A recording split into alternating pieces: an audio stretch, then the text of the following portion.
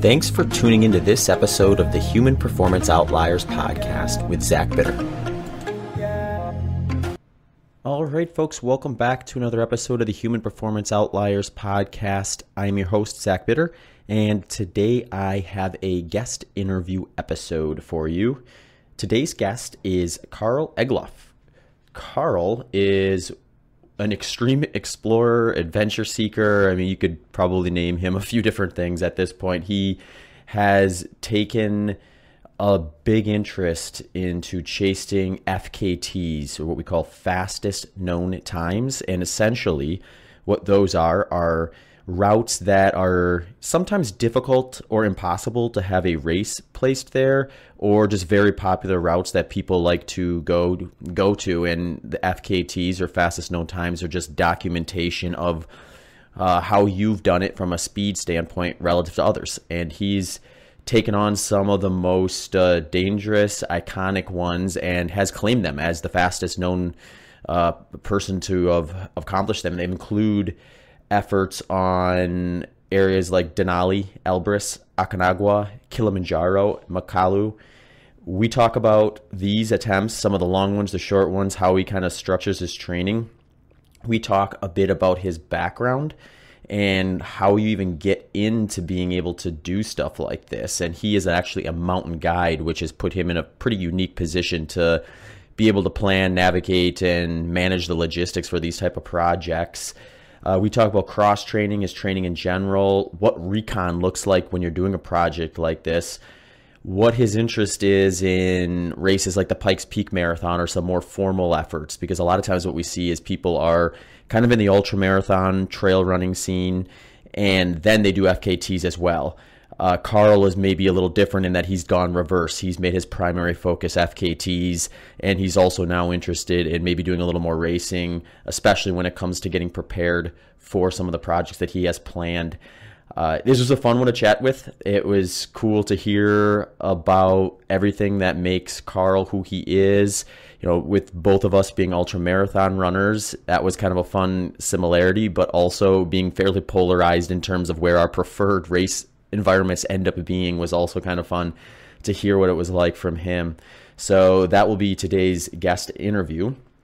If you enjoyed this episode, want to check it out and support the show, you can do that also through the show's Patreon page, and there you will get early release and ad free audio. So, advertisements removed. I usually put it up as soon as I can after we record it. So, it's sometimes up there a couple weeks ahead of time when it's released to the regular uh, platforms, YouTube and all the podcast platforms. If that's interested to you, head over there. You can link to it through the show landing page, which is just at zachbitter.com forward slash HPO.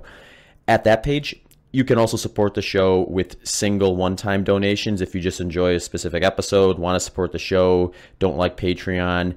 Any of those reasons are perfectly fine. You have options there to do quick donations and even crypto donations if that's your thing. Uh, same spot, zachbitter.com forward slash HPO. And another way, if you want to help support the show non monetarily, there's some great options there as well. If you find an episode you like, uh, like it, share, subscribe to the platform you listen to it on. Let your friends, family know where to find it. That sort of thing really helps me grow the show and continue to record episodes. Uh, all right, there we have it. Uh, this episode, Karl Egloff. Let's welcome him in.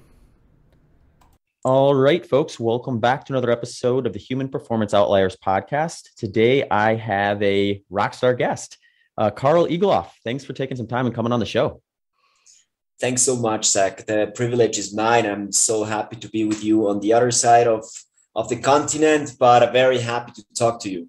Yeah, yeah, it is interesting how we can reach each other so easily nowadays with uh, like Zoom and other recording type devices. So it's uh, what I like to think is like the positive side of technology is you have access to all sorts of motivational people that would maybe be a little harder to come by in previous generations. So uh, I feel very grateful to be able to sit down, chat with someone like yourself, and kind of get a glimpse and share with other people a glimpse of kind of what goes through your mind and body when you're doing some of these impressive feats that you've you've done historically.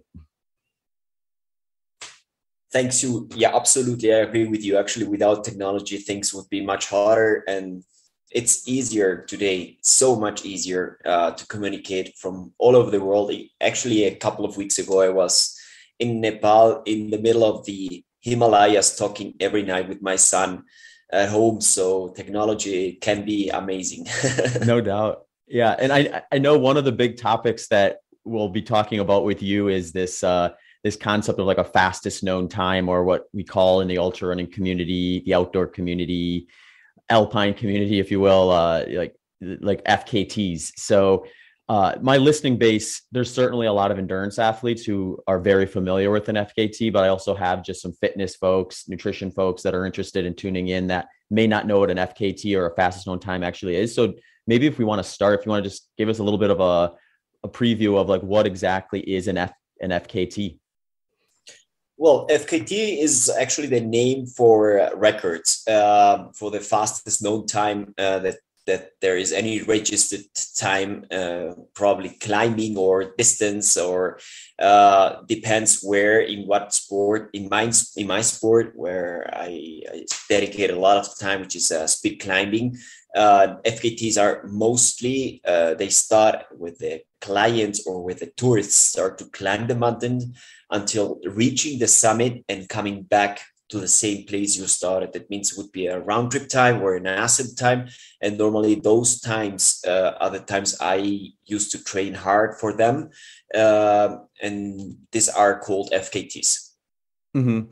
Yeah. And my kind of first exposure to FKTs were sort of, you know, I kind of got familiar with those after I got into ultra marathon running and my first thought was like, oh, these are kind of cool ways to test routes that are maybe impossible or incredibly difficult to stage a race at. So anyone who's done any sort of race directing knows like the amount of permitting and certain regulations where you can't have a certain number of people out there at a time and things like that make it difficult for some of these like historic routes. A, a lot of the ones that you do, I'm sure, uh, you just can't really have a race there. So FKTs are the only way to really test who is going fastest up and down or around or however the, the, the specific route is structured. Uh, is was there something specific about FKTs that was kind of appealing to you when you first decided to start chasing those? Well, definitely there are kind of rules uh, that you you follow. Uh, for example, if you are doing an FKT on a mountain that nobody is pulling you, or uh, for example, if you are doing an 8,000 meter peak that you are not using artificial oxygen, um, there are that kind of rules, of course. Uh, and as you mentioned before, there are, this is a place where you are you cannot organize a, a race or there cannot start many people on the same time uh, because of safety, because of, of the environment, because of it's uh, a tough mountain and everything. So normally FKTs are measured time that you do to the summit and you compare it to each other. And this is something that happened a lot on the pandemic that um, there many races could not be done and they started to do virtual races. That means uh, they had the track and you could get, just go out there and and train hard and do the your best uh, you could and on the end this is probably the, the same comparison on the mountains. Mm-hmm. yeah and some of the mountains that you've targeted historically i can read some of them where you've gotten your fastest known time on are you're the record holder at makalu kilimanjaro aconcagua elbrus and denali and those names some of them pop up in people's minds i think as like very like established uh very high uh dangerous uh a lot of logistics i'm sure like attempts to kind of go after. And one of the other things that really stuck out to me is what i like to look at when it comes to these longer efforts is just the time it takes to do it. And the spread between those ones i read for you range from 25 hours and 28 minutes all the way down to was it four hours and 20 minutes for elbrus so when I think of just the skill set required to to race or to perform at a high level, you start getting into like this scenario where people people tend to be better at certain distances or certain times than others, or they specialize in them. When you're able to hold records from a range of just over four hours up past 25 hours, that's an incredibly large stretch is there something like unique about the projects that you look at when you're doing one like Elbrus versus uh, one like Makalu? Well, you just mentioned it. It's uh, so diverse. It's like the running world out there. Then on the end, there are so many different different disciplines. If you are on the track, there are hundreds of disciplines, and uh, regarding FKTs on the mountains, every single mountain is different. So um, when when I started with with the FKTs, I started in Ecuador where I live, and uh, normally those mountains volcanoes are short volcanoes. You are not uh, gaining a lot of vertical meters and uh, or feet and normally it takes an hour and a half or two hours or two hours and a half to, to do those volcanoes in, in, in a speed version. And, and as soon as you compare it, for example, with Makalu, the last one I did uh, recently, where you are, are out there over 25 hours nonstop, uh, the preparation is absolutely different. Um, I think Elbrus, for example, or Kilimanjaro, those mountains are much more in athletics mountains. That means you have to be uh, very fast on trail running. You are measuring your time um, regarding every mile or every kilometer that you are running.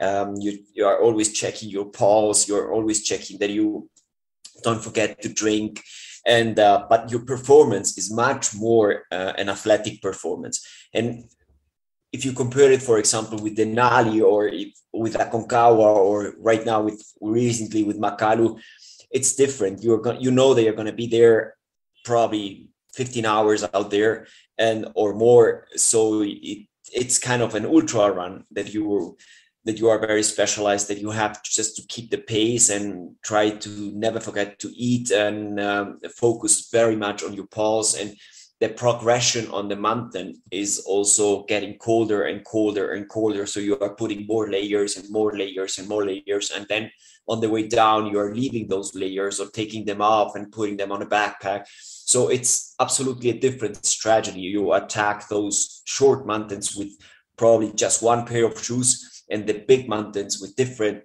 um, different gears, different shoes, different mountain boots.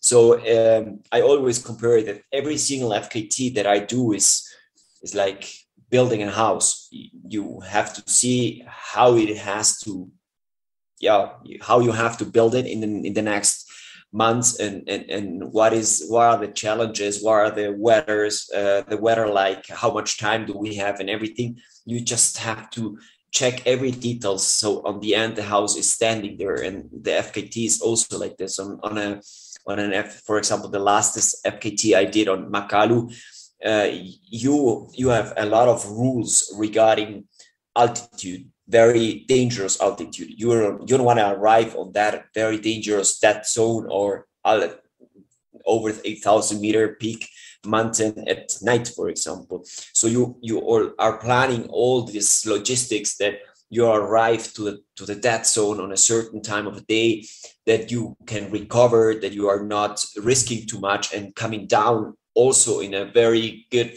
time of the day so there's a lot of planning behind where normally people believe when they read those things like this guy just ran up the mountain and down uh, there's a lot of respect behind and there's also a lot of a lot of um, training behind. That means you you probably climbed that mountain many many times before you are talking about an fkt or or attempting an fkt there is a uh, a lot of, of hours on altitude and sleeping on tents and and doing some performance before just going out there and chasing the record definitely. Mm-hmm. yeah and with like a route like makalu since it is such a longer effort, are you're you're heading out there? I would imagine like well before your attempt, and are you practicing like different segments that in, in isolation from one another, so you're like familiar with the route, but just not tackling it all at once?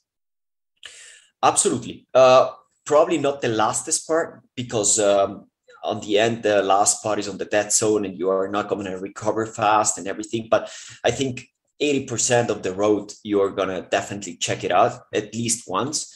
And um, you have also to figure out what helps you with nutrition up there. If, if uh, it's in different altitude, if, if you are sleeping in tents, also how recovered or, or how uh, tired are you next day when you wake up and everything. So it, it takes some time. For example, in Makalu, before the record day, we were 30 days already uh, it, at the Himalayas. Means we we have been training and and sleeping in altitude. We did two, three different rotations to the altitude. We touched the 8,000 meter border, and we came back, and then we did. Of course, you have to decide with weather forecast which date is going to be kind of the best one to do it and uh, this is something that is uh, absolutely different to other fkt's if you do them in a lower section or in kilimanjaro or in lower mountains you, you don't care that much about weather forecast because the weather is not going to be dangerous. But on, on such a mountain it's it's it can it can be absolutely game changing uh,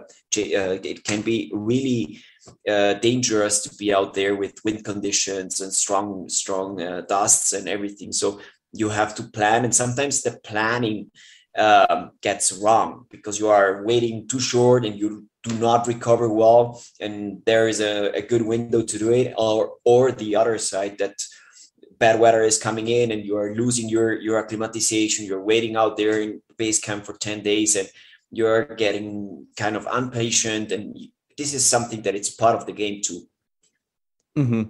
Yeah, it makes it really interesting because I think like when I look at the ultra marathons I do, there's such a like kind of a controllable element to it because so much of it is controllable from even sometimes the weather. I've done indoor like track races and things like that, and uh, there's aid stations and food availability whenever you want it, and you kind of eliminate some of those hurdles. And you're on the opposite of the spectrum where all those things are kind of part of the project itself. So Eh, have you done an FKT before where you've just had to like simply bail out on it because weather came in at a different time than you expected it to, or just never even got off a of base camp because of the forecast never cleared up the way you wanted it to? Yeah, absolutely, absolutely. I went uh, the first time to Denali 2018, and uh, we went up to the summit to acclimatize to kind of check out the road. And when we came back to base camp, we decided to wait for the be- for the best day, and that day never came and uh, I was getting impatient. And I said, okay, there we don't have that much food anymore. Um, I should I should really check if there is a, a short window to do it.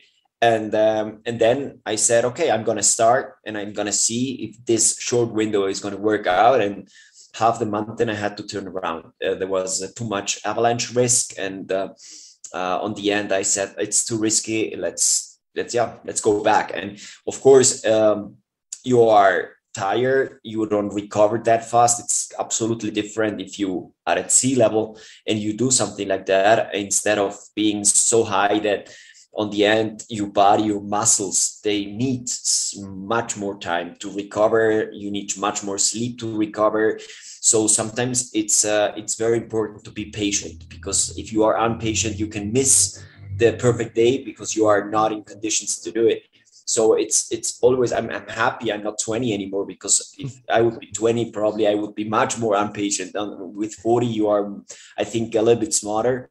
Uh, i don't know if faster but smarter definitely. Yeah it's re- really interesting. You you highlighted a couple things that i was going to ask you questions about. One is just like kind of the age that that these type of things tend to be like the sweet spot. I think we look at you know some of the more like well known like popular sports there tends to be an age range where we assume people are going to peak at, and then they may be able to hold on to that peak for you know a certain amount of years, some longer than others, and then there's a kind of a drop off at a certain point. And with ultra running, it always seemed to me when I first got into the sport that it trended a little bit older. And then I think as the sport got a little more popular, we started seeing younger folks come in and break records and stuff. And I was like, well, maybe it's going to kind of level out a little bit as we see more youth come into the sport. And then the last couple of years, uh, I mean, we've had like examples of like uh, the women's 24 hour and 100 mile world records getting broken by a 40 year old. Uh, the men's as well, same thing. And actually, 100K up to 24 hours is now held all by a 40 year old. And uh, I always just wonder, like, where is that kind of peak age where you have that natural balance of enough experience to know what you're doing and be able to troubleshoot when problems arise, but still young enough and enough spring in your legs so that you're getting up and down the mountains in your case as quickly as you could when you were maybe a little bit younger yet too. Have you given that much thought or have you just more like hey these are the projects i want to do. I'm going to see what i can get out of it and whatever that time ends up being is is what ends up being? No absolutely i agree with you with all what you said right now. That depends the sport it depends also uh, where you train how hard you train and um, what kind of goals are you are you chasing? Of course there are so many different uh, things if we talk about fkt's there are mountains there. You have to be like so fast. And and, and for example to put one in an, an example uh, mont blanc for example that everyone is training on the mountain uh, in, in france. And there is uh, a lot of of the scene of the trail running scene utmb and all these races around the mountain. So many people are going up and down so that the record is very tough to beat and uh, it, it has become really a kind of a, an athletic record um, versus mountains that nobody goes because uh, it's so difficult to reach them. For example, uh, Vinson Massif in the Antarctic, that probably the FKT has never been done uh, in an in athletic version. So um, I think that I think the age is uh, absolutely important, um, but I'm really happy uh, not to be too young because uh, right now I have my values to to come back home. I have my family. I know where where I can push and where I have to go back. Of course, when we are, I'm 41. Uh, I would sometimes I, there are days that I would love to be 20 again and uh, recovered fast. And after coming down from the mountain, normally it takes probably double as time as a 20 year old to recover your muscles and and sleep well and, and, and drink well and everything uh, but on the end, what matters to keep you alive on those things is is your experience. So I'm happy to be 40. Mm-hmm. Yeah, yeah, no doubt. The other the other thing I was going to ask you about with kind of the range of times or distances that you've done with these things is the actual like nutritional component of these projects. Uh, I'm assuming it's basically self-supported, where you're carrying everything you need to eat and drink, or are you melting snow and stuff in some cases for water? Well, uh, has happened, but normally, normally it can't happen. I mean, you you take everything with you. You you don't want to lose time, and uh, if you know there is someone on the mountain that day, there is um, gonna give you water or give you food because they are already tenting there. It helps you to to carry less. Uh, but normally, some some of the mountains they are yeah absolutely there is nobody out there, so you take everything with you. And uh, regarding nutrition, I it's it's always um, very related with the altitude. Uh, there are mountains that you can really push hard with power food, with power gels, with power bars, and and, and gums and everything. And there are other mountains there. For example, right now I, I, I had a lot of trouble with my stomach on Makalu uh, because I had so much, uh, yeah, my headache was exploding with, with the altitude and everything. So I was drinking paracetamol, for example, on the way down and, and combining it with power food, everything came out. And uh, it, it, it takes you all the energy out, and then you you need more water. You have to stop more. You have those those moments that you have really to stop and drink something. I had to stop and drink a soup in, in, in camp two because I, I was I could I did not find any energy. I could not even eat anything else than just uh, what I had on my backpack. So I, I needed real food. And um, this kind of things are so important to have experience. That means that um, you have done something similar on similar altitudes, on similar latitudes, like uh, how your body is reacting and and what happens if you are drinking yeah an Advil because you have a headache or whatever. What happens with your body, with your, with, uh, and also being 35 year, days on base camp uh, at 6,000 meters altitude, like what you need to not lose muscles and and keep fit and uh, have the energy. I, for example, I I lost uh, yeah kind of five pounds in base camp, even trying to eat as much as I could, but yeah, even like that, you cannot eat enough and uh, your body is, is, is not hungry enough so uh, it's always for me like experience is everything on this sport that to know what you need for the next time to make it better to try new things of course um, probably not drinking or eating any power food uh, for for the very big ones and just make a, a 15 minute break in, in a in a tent and eat something yeah like real food and uh, like ultra marathon i think it's it's very similar uh, to kind of understand your body mm-hmm. Yeah so as the distance gets longer or the time gets longer you start to kind of switch from maybe some more engineered sports products to more solid food options uh, in order to kind of ease that stomach distress that could potentially happen from trying to digest all that stuff. Uh, is there uh, and yeah and i would agree that's very common. I think like one of the strategies i really like when you start getting into longer ultras is if you're going to be using sports products or like power foods like you mentioned have that kind of a balance where you're having that some of the time but you're also rotating in some solid food options i've always found that that just helps kind of ease the digestion a little bit and, and keep things moving in the right direction a little better than if you're just taking in like purely liquid calories or the goos and the gel type type products all the time Absolutely, I agree with you. It depends uh, how many hours are you going to be out there, and then uh, it, it's also very important what you're drinking. If you are drinking just water or you're mixing water with powders, and um, how often are you eating something solid? And um, of course, you can never forget to, um, yeah, drink or eat enough uh, salt and minerals because um, your muscles are gonna definitely feel it, and your stomach too this is probably what happened to me on Makalu on the way down that I was eating too too many sweets sweet things and uh, this is probably why my stomach started to yeah to strike a bit. But um, yeah this these things are good for me. I can learn from those things much more than if I read them. If that really happened to me this is perfect. So my body knows that next time I have to do it better definitely. Mm-hmm. Yeah. Do you target a certain amount of fuel per hour when you're out there for those longer sessions, or is it more just like I'm just going to try to get in what I can and and I don't I don't want to say hope for the best because you I mean your life is essentially at risk at this, but you know you there's like you said there's there's times where things are going better than others with nutrition and your ability to digest stuff. But is there like a target range you're trying to hit when you're out there for that long? This is a great question because on the end, if you're doing an ultra marathon or if you're doing a marathon or you're doing a bike race, you know how many calories you're going to lose for per hour or approximately.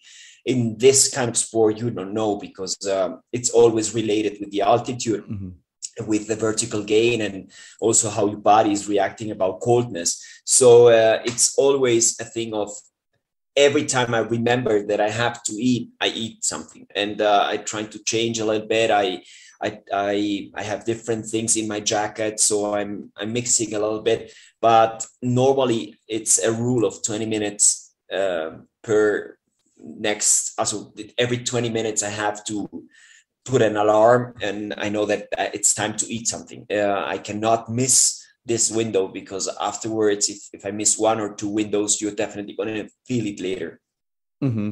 and do you how much extra weight do you end up carrying just with like the logistics of you, i know you can probably pick like restock at the different camps along the way to some degree but you must be carrying a fairly big like pack or your pockets are essentially full or something like that? Absolutely because also uh, not just nutrition it's also about security. On the end i take a lot of layers with me. I take extra mittens i, tra- I take an extra harness i take extra uh, sunglasses i take many things because i'm a guide. So i always think how the scenario can change on the mountains and it, yeah it can be really challenging if it changed so i always think about those things i have also an InReach i have so normally i have 15 to 20 pounds backpack uh, with me with food, with uh, enough uh, water. I have sometimes also Coca Colas in my backpack.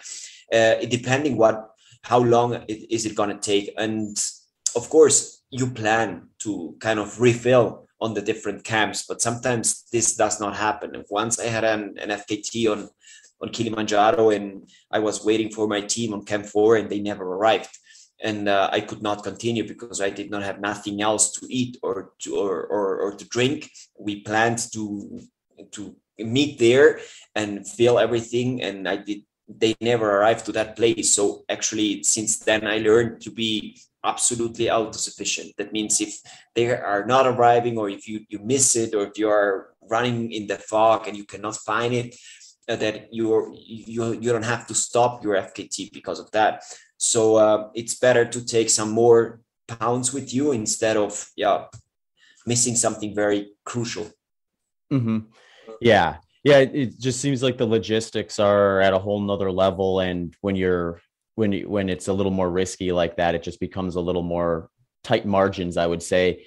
Uh, so like you mentioned, you have a background as a guide. And I, I do want to kind of get into your background a little bit and dig into a little bit about how you got into, you know, this type of an activity and like what like sports or activities got you interested or led you to this. Cause I always find, find it interesting that it's pretty rare that I see someone doing what you're doing and that that was just something they were doing when they were a kid. It, it may be something similar, but probably not anywhere near the capacity that you're doing it now.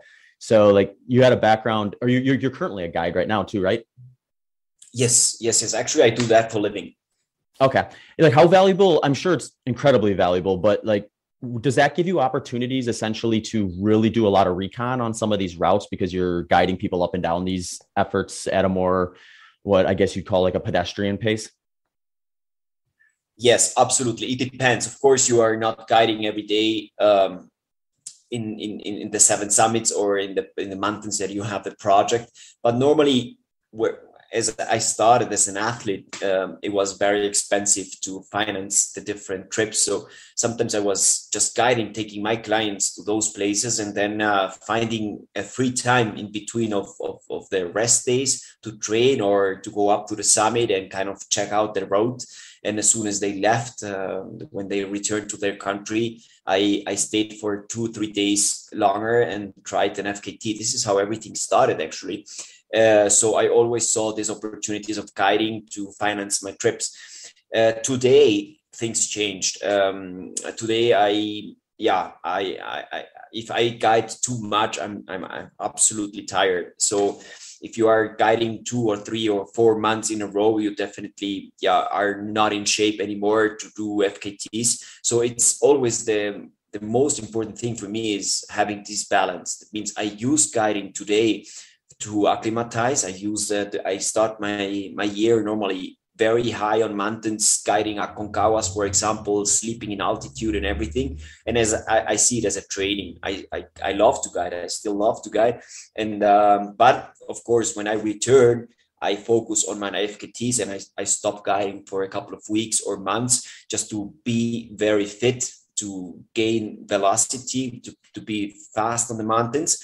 And I, I switch during my entire year between guiding and projects because I cannot kind of uh, mix them together too much anymore. It's difficult for me right now. Many people say, okay, Karl, could you guide us tomorrow? And, and you have a planning, you have um, absolutely a training planning for the next weeks and so on. So it's, uh, it's definitely a huge plus. Uh, I think uh, you know how to approach a mountain. You know how technical things are are be, has have to be done on the mountains, and I'm happy to have that background because normally there are runners who discover the mountains and sometimes they skip certain steps uh, like the acclimatization or the technical part or the gear or those things and in my case i'm a mountain guide who discovered uh, trail running so on the end for me was much more a challenge to be a fast athlete instead of being in the mountains in a tough terrain. So I'm happy to have that background. So this is good for me sometimes to take the decisions in where where to stop or turn around or yeah, how how it has to be done. Another great way to support the Human Performance Outliers podcast is through the show sponsors. If one of the show sponsors has a product you're interested in trying out, you can let them know that you support this podcast by ordering through here. You can find all the show sponsors, details, links, and discounts at the show sponsor landing page, which is zachbitter.com forward slash HPO sponsors, as well as in the show notes of every episode. This episode's sponsors include Optimal Carnivore. Optimal Carnivore knows that organ meats are some of the most nutrient dense products on the planet. So, Optimal Carnivore has shared with us their beef liver, organ meat, and bone marrow products in the past, but want to let you know about the new addition to their lineup. It is a nootropic called Brain Nourish. Nootropics can potentially boost overall brain function, focus, and productivity. Optimal Carnivore includes lion's manes mushrooms and grass fed beef brain. Each serving has 1500 milligrams of 100% organic lion's mane mushroom and 1500 milligrams of beef brain, sourced from the highest quality regenerative farms in New Zealand. If you would like to give Brain Nourish or any of Optimal Carnivore products a try, they will plant a tree for every product sold. Simply head over to amazon.com forward slash optimal carnivore and use the code HUMANSAVE10, that's HUMANSAVE10, to receive 10% off your next order. Also, my friends at LMNT Electrolytes. LMNT makes an electrolyte supplement with no sugar. Each packet is loaded with 1,000 milligrams of sodium, 200 milligrams of potassium, and 60 milligrams of magnesium. They come in convenient single serve packets that make them great for bringing along for a run, hike, to the gym, or while traveling. My go tos are their citrus flavor during long runs and their chocolate flavor in the morning with my coffee. If you are hesitant or would like to try out LMNT first, before you purchase it, they are offering a flavor sample pack with one of each of their flavors for free to anyone who uses the HPO URL. If you want to check them out and support HPO along the way, you can head over to drinklmnt.com forward slash HPO. That's drinklmnt.com forward slash HPO. And the free sample pack is good for both new and returning customers. So take advantage of that and try out each of their flavors now. I think that's just super interesting because it almost seems like, as an outsider looking in, that like the guiding almost serves as kind of like a foundational or base fitness that you can get and then also sort of probably a problem solving opportunity where you're able to kind of see different situations and scenarios on these routes at a lot slower pace, a little more controlled pace. So then when you have those things occur when you're doing an FKT, you maybe have a little bit more of a of a list of things in the back of your head of like how you would maybe navigate that situation. Is that how you you kind of look at it with that? You have some foundational fitness from the guiding, but then ultimately when it comes time to picking a project, you need to get very specific with what you'll be doing during the project in order to be fit enough to be able to do it the way you want to. Yeah, I think our definitely to have a job that you are out there all the time first of all altitude. Secondly you are walking many many many hours but this is the point. You are walking many many hours in a very low pulse. Mm-hmm. so normally you are kind of freezing also. You are wearing much more layers. And as soon as that you have to kind of focus on your training you you are out of breath because you are not used to be so fast again so I always use the guiding as as a good time of the year to acclimatize, to win uh, red blood cells in my body, to take it easy, to have more a passive training, and then uh, I have to really radically stop and uh, focus on on pace. Uh, and this pace is normally made where I live uh, on lower altitude. It's still very high altitude. It's still like Leadville altitude, Colorado altitude, but uh, this is my lowest altitude that we have here around. And this is where I normally perform. This is where I compete. I do a lot of trail running events. I I normally choose uh, short distances so I can really struggle a lot in in in in in pulse in, in mentally and everything. And uh, and then i'm always switching between mountains uh, training projects and guiding. This is something that uh, in the last three years went pretty good actually very good because um, we can i can really uh, check my my time and see where i'm able to guide. I i uh, i have my clients waiting for me uh, many months and i said okay perfectly let's go then and this is a good month to climb the mountain and so i can choose the projects that i can do the rest of the year and it works pretty good. Of course i can't do fkts the rest of my life. I'm definitely gonna be older one day and uh, uh, I definitely don't want to risk anymore uh, too much as soon as I end my projects and everything. So definitely there will be different times in in a near future. Mm-hmm. yeah so when you decide okay it's time to really start peaking for a project you have a project kind of in the back of your mind as something that you're going to target and you start working on kind of the specifics for preparing for that and maybe stepping away from guiding for a little bit you like to use trail races to kind of test your fitness or also develop your fitness along the way? You're using those as kind of like benchmarks and training tools to get you to where you want to be for the fkt's Yes, Zach, absolutely. Uh, it's something that I need. I'm a very competitive person, so for me, it's important to yeah to see how I am um, compared with the others and uh, not just virtually or checking what they have done so far. So for me, it's important to race to see how my body is doing and, and different distances. And uh, and normally I do also certain parts of the FKT that I'm I want to do uh, to see in certain places where I have to get better or where I can take more time or which kind of preparation is what what I need.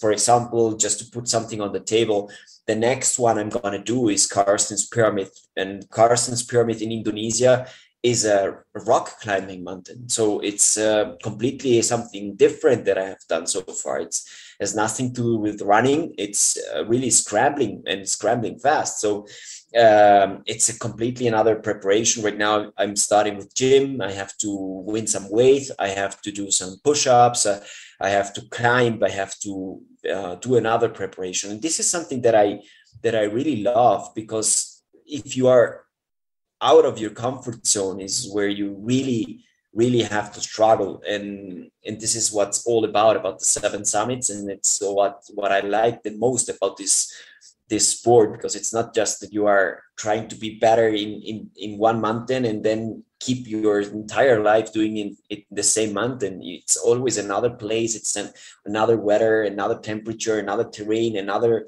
skills and this is um, this is something that I really enjoyed. So I I don't get bored. yeah, I just think it's fascinating because it's like you almost add an element to what otherwise would be a lot more of a lower body exercise to like in some of these projects like the one you just mentioned you have an upper body component where you can't be weak there either and I'm curious just like what role strength training plays in general with these type of pursuits. Is that something you are very like meticulous about in terms of doing certain movements in the gym to prepare your body for these type of things? Or does that change drastically based on the event itself too?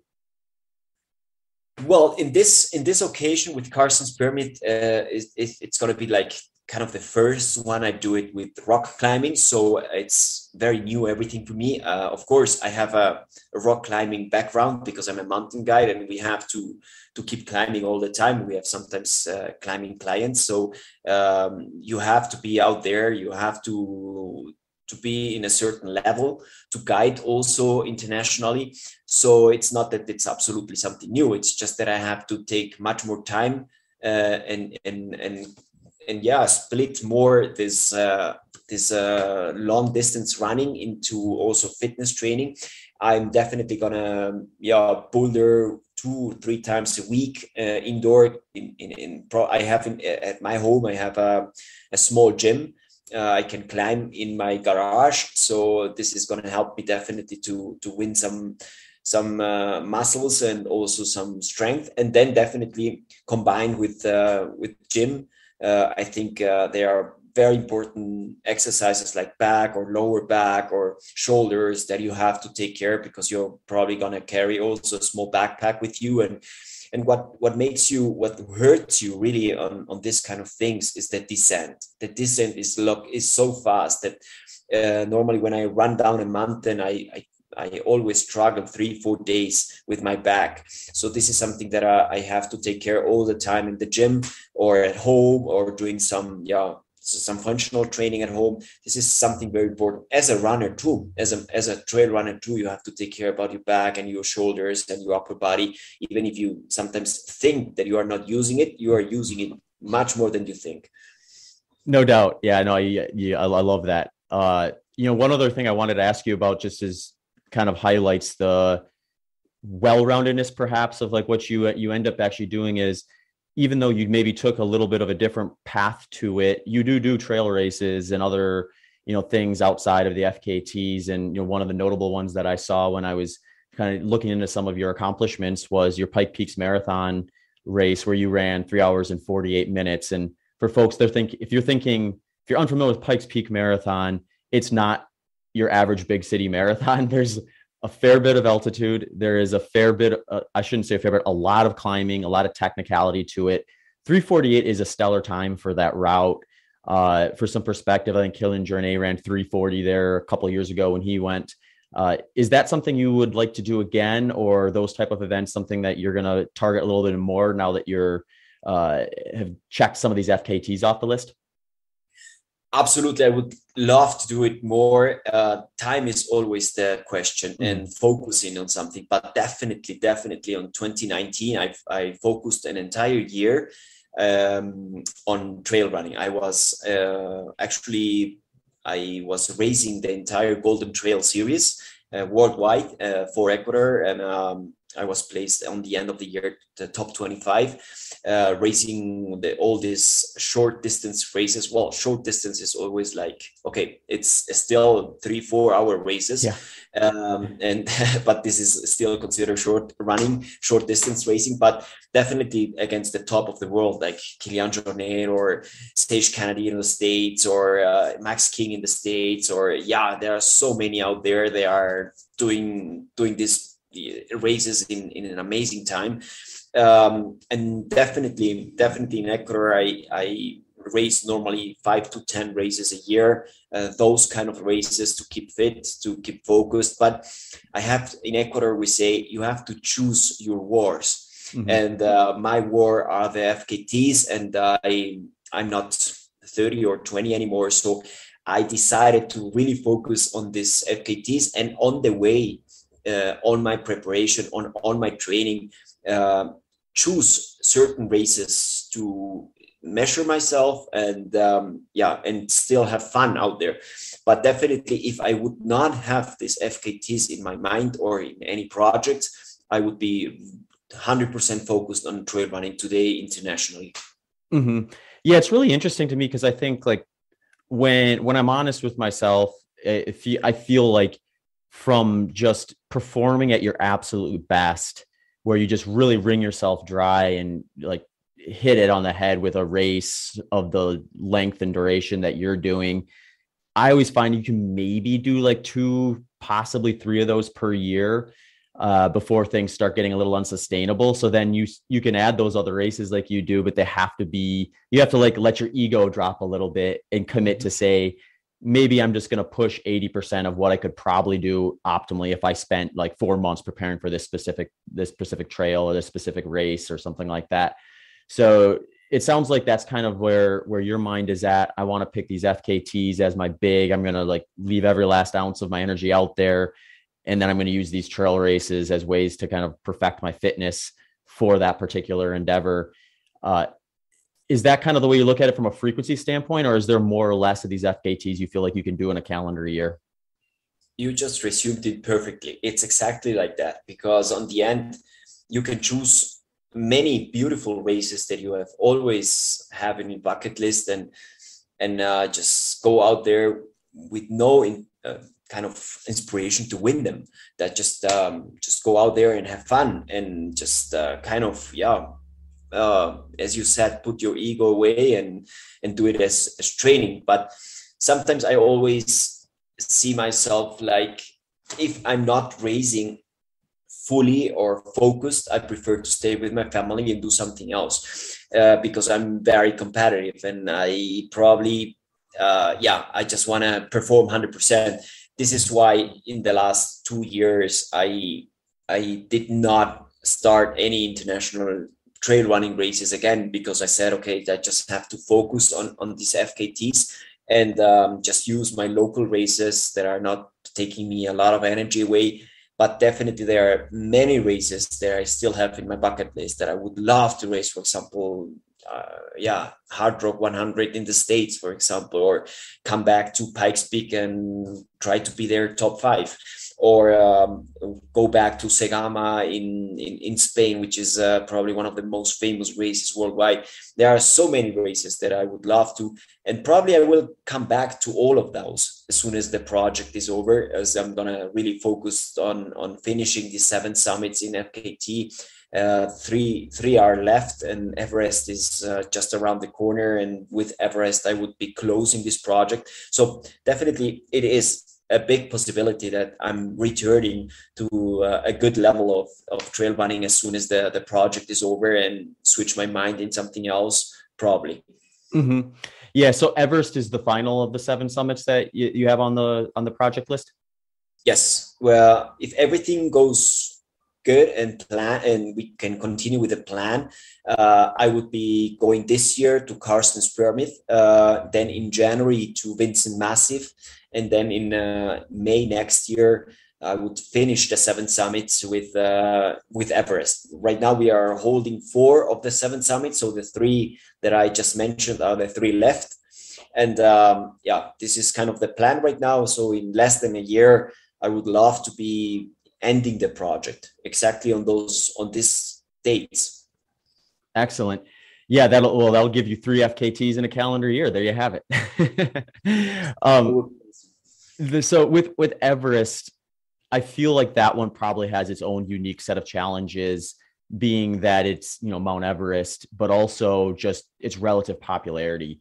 So, what kind of planning do you have to do differently for that one in simply just to navigate the amount of kind of traffic out there because now there's so many people that are just summiting everest uh, when it's open i would imagine that that does that does that become an issue where you get kind of bottlenecked back behind and you can't necessarily move at the pace you want to or is there a way where you can kind of get a clean shot at it without having to kind of manage your way through traffic so to speak well, this is a great question because uh, we are talking about traffic. We are not tra- talking about all the all the difficulty of the mountain and the altitude and everything. And this is exactly what it's all about on Everest. That means uh, everyone is talking about the quantity of people, even myself, uh, how I'm going to manage to do it. But on the end, I cannot forget it's a dangerous mountain without oxygen on that altitude, and you are you don't want to be stopping and overpassing people or just uh, kind of waiting under the ladder to just climb it. Or so you have to be very smart and very patient. Uh, first of all. Everest has two sides. That's like the south side and the north side. The north side has been closed for uh, pandemic reasons and political reasons for the last three years. And uh, we are planning next year uh, to yeah just just to climb Everest uh, on the north side. So we are really expecting China to open the north side again.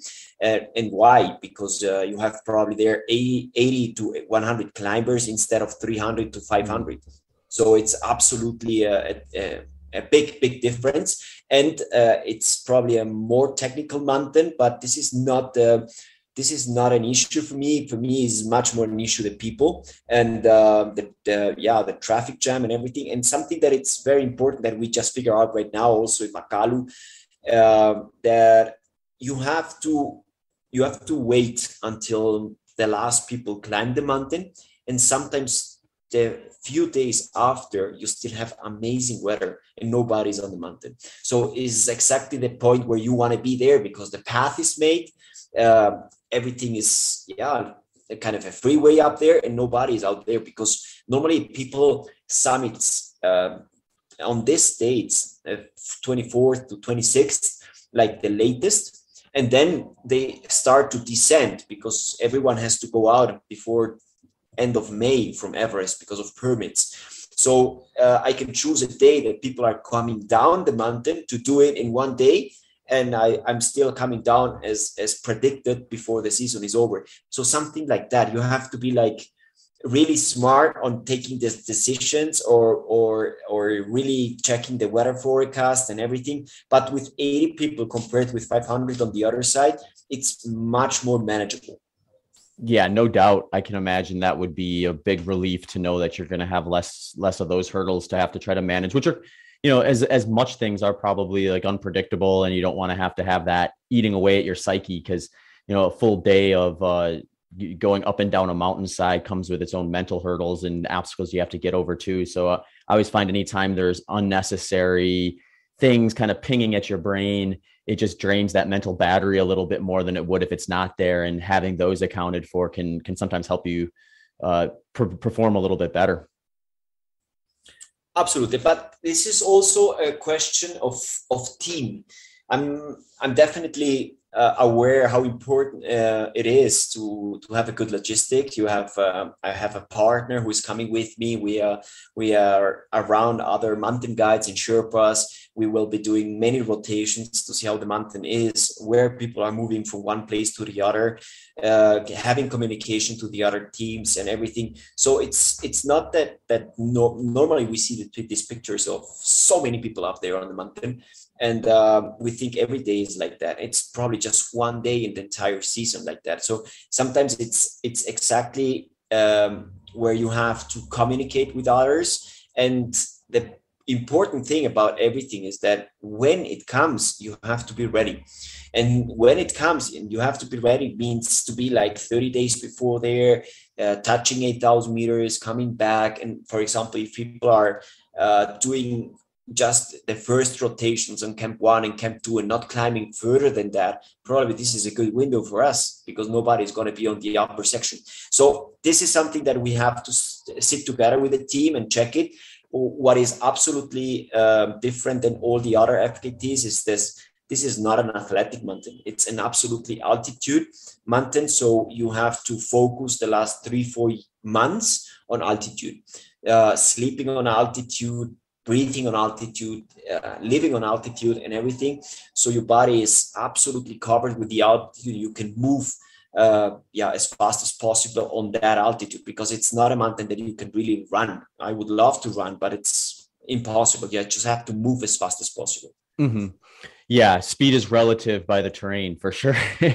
so you've you've said a few things about just kind of like the base camp side of things and the time period when you get there and you actually start one of these projects and it sounds like sometimes that's a pretty big span of time. So I know a lot of the endurance athletes listening to this are thinking like, well, how do you pick a spot where you end your peak training and start tapering for the event? Do you even get to taper or are you sort of tapering for a really long time when you're out there at base camp? How does that look differently when you're out there versus what you would be doing training before you kind of head out for it? And this is a this is a great question because it's uh, it's we cannot compare it with with trail running or with endurance running because as I as I've done it to uh, start to plan the perfect day to be like 100% before the race and just be one or two days before the race just waiting until the race starts and and keep waiting and waiting and and then just perform as as good as you can this is on mountaineering very difficult because uh, when you are returning from rotations or touching different altitudes and coming back to base camp, you are never, never going to recover 100%. Your body it gets weaker and weaker. You are not sleeping an entire night through. Uh, you are not eating as much as you would like to.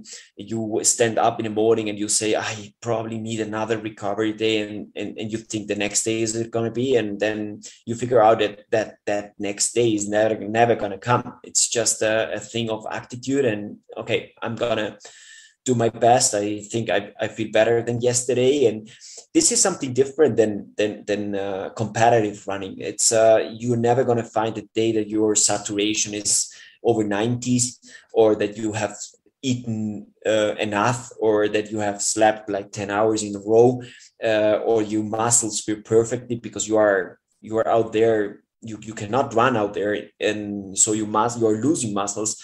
And uh, sometimes you just go out for for an hour for a walk just to keep your muscles working. And uh, this is why you want to do it as fast as possible. That means uh, probably doing the acclimatization somewhere else and just arrive when the mountain is ready and just uh, try to to be as motivated as possible to do it as fast as possible. Sounds crazy but it's a fact that if you are doing uh, speed climbing it's different than normally climbing a mountain. You you you want to be as as fit as possible. Mm-hmm. well c- crazy is the name of the game when you're doing what you're doing so i think we'll give you a pass there. Uh, you, you mentioned something that was interesting. So your oxygen saturation is below 90 when you're out there at base camp?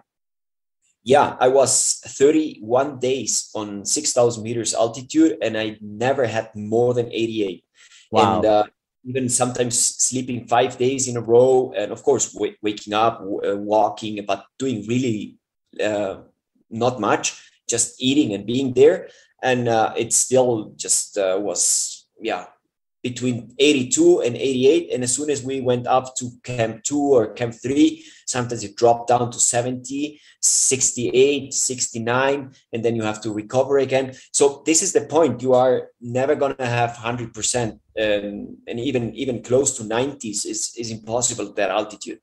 Mm-hmm. Yeah. I, th- Without- I think I think you want to be in like the like optimally you want to be in like the mid 90s I think from like a recovery standpoint and like so you're in a position where recovery is already suboptimal. Uh, granted, you have to deal with the the environment that you're going to be in, but that I think like people hear those numbers and probably think like they'd be comatose at some of those some of those ranges. So it's it's fascinating to hear those numbers come come from what you're doing. Yeah, absolutely. If we compare with, uh, yeah, of course, uh, even even COVID cases, uh, people, yeah, have to go to hospital in in lower nineties. You know, mm-hmm. like it, you cannot compare it. It's something absolutely different. And of course, um, I, I saw it on the base campus. We had other people from the same expedition climbing with oxygen. They just they breath two or three times with oxygen, and they the the oxy the oximeter went up to 60 to 99 98 97 in just two or three breaths and this is uh, amazing like uh, this is just a, a, thing of, of oxygen. And as soon as we returned from base camp after the, the record and then we we took the helicopter down to kathmandu immediately as soon as you arrive in kathmandu you are like like coming out of the water. And this is impressive and you are sleepy and, and hungry and everything. Mm-hmm. yeah so is there like for the fkts you're doing is it the expectation that you don't use oxygen then yeah absolutely fkts are are done without oxygen because on the end using oxygen is is not doing the the real altitude of the mountain the, mm-hmm. the toughness of the mountain so in my consideration, of course, others can think differently, but in my consideration, all the FKTs have to be done the same on foot, and and secondly, without oxygen and without someone pulling you. Mm-hmm. And does that mean then you can't use oxygen in those days before you begin the attempt? So, like when you're at base camp, you can't like top off on oxygen and then like the next morning head out for the project or something like that. You need to be removed from it from the day you land until you finish the project you just mentioned it. You have to be absolutely away from oxygen all the expedition. Otherwise, it doesn't count as a no oxygen oxygen uh, oxygen expedition because, of course, you are tented. You are on next to the tent. You have oxygen, emergency oxygen, but on the end, it's it's cheating. If you want it to count, you got to do it without. That's incredible. Um, one last question about the FKT structuring and stuff like that. So, is the expectation sort of that you start in the same spot and you get to the top of the mountain however route you pick or is there a very specific like path or track that you have to follow in order for it to count or does that vary from one to the other normally normally of course you can choose your way up. You can choose where to go up. The point is that you start where tourists start to walk. Normally in a kilimanjaro for example you start where the village ends and then you climb the mountain you put uh, you put your hand on the summit and then you come back to the same place. This is a round trip FKT. And the round trip FKT, you can choose the route. For example, in, in, in uh, Kilimanjaro, there are six different ones, and I chose the shortest one. And then on that shortest one, um, all the other FKT runners have tried the, the record. That means the records are made on that road. And um, on Makalu and all the other seven summits, I chose to do the normal route. So uh, there is uh, there is a time to beat, and records are to be broken. So on the end, this is why I think that uh, it's important to put uh, the, the the normal track so people can really try. And I hope there are going to be a lot of generations trying for it. And this is uh, yeah important for me. Excellent. Well, I, I love to hear that. I know like when you know, Kilian went on his FKT surge a few years back, and now you're on your FKT surge. It's been cool to hear you guys talk about how like, you know, you're you're you love chasing the records. It's a big passion, but ultimately you like to put a spotlight on this sport and you know hopefully highlight some things for future generations to come and uh, ultimately find out what humans are capable on this type of stuff. I mean, these are some extreme attempts and uh, it's it's gonna be fascinating to see like what you do for the sport when all is said and done in terms of bringing in some some other excited folks uh, to take a swing at this type of stuff. Yeah, I agree with you. In the end, this is a, a, sport. You wish everyone just good luck. You don't want anyone to have a, a bad day out there because a bad day can mean the death. So um, I'm, I'm good related with Kilian, for example, that uh, every time we see each other, or he was he was even uh, writing me right now in Makalu, uh, wishing me good luck, and he was like sending me all the good vibes. So on the end, it's a it's sport of gentlemen. I think it's like it's mm-hmm. nice. It's um, yeah, I think I would I would do the same for everyone, and I'm cheering for every single one who wants to try. There, there has been people who have said to me like, "Karl, can you give me the track and the GPX and everything?" Of course, I, I would love that you could beat it, and I give you this and this advice, and yeah, just go for it. Mm-hmm. Yeah, it almost becomes a team effort over years when you have like yeah, you know, some yeah, I'm sure some of the things you've done have been unique to what Kilian did, and some of the things you used from learning from him and other people as well. And you know, ultimately, it puts us in a position to eventually whittle it down to what's the best way to do this, and kind of answer some questions that are probably almost impossible to answer in a lab. So you guys are doing the hard work out there. um, oh yes, absolutely, Zach. Yeah. So, Karl, well, thank you so much. I want to be mindful of your time. Uh, I'm incredibly excited to follow the rest of your project and see what you do with your your, your remaining competitive years. And uh, I want to give you an opportunity to share where people can find you online, social media, website, that sort of stuff, or if you have any books, documentaries, or anything like that you'd like to share, as well as sponsors. Thanks. Uh, thanks so much, Zach. It was a really nice talking talking to you, and uh, I hope we can, yeah, we can repeat this conversation and and do others in the near future. Uh, I definitely keep you posted what I'm gonna do in the following months, and uh, you can find me in social media, of course, in, in Instagram, for example, karl.egloff, uh, yes, and. Um, and, and also in, in Facebook and Twitter. In yeah, I have my homepage, karlegloff.com and um, yeah i would be just so glad to respond any questions that you have. And and i hope uh, in a near future to be in the states. I'm planning uh, probably one or two trips this year so probably we can see each other in person. Yeah that'd be excellent. Yeah let me know when you're stateside. I would love to shake your hand in person and see the man who's summiting all these massive peaks it'd be great but um, until then i will definitely put those links in the show notes for people want to follow along with your your adventures and everything that comes with it, uh, they'll be able to find you there. Thank you so much, Zach, and thanks to everyone. Take care. Have a great rest of your day. You too. Bye bye. Have a have a good one. Bye bye. Thanks for tuning into this episode of the Human Performance Outliers podcast with Zach Bitter.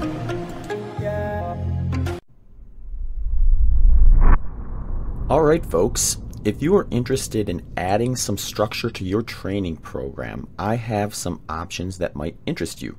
Over on my website, zachbitter.com, I have a wide range of ready made plans that have options for beginners to advanced endurance athletes. I also have personalized plan options where I will cater a plan specific to the event you are preparing for and your personal schedule and training availability.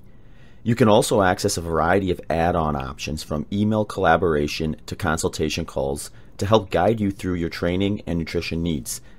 You can access these with or without a formal plan. So head over to zachbitter.com and let me know what you think.